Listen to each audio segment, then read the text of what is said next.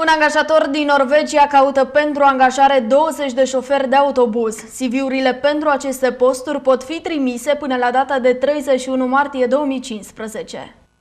Sălăjenii interesați de aceste posturi trebuie să aibă permis de conducere categoria de lungă experiență de șofer de autobuz, razier juridic curat și să cunoască bine limba engleză.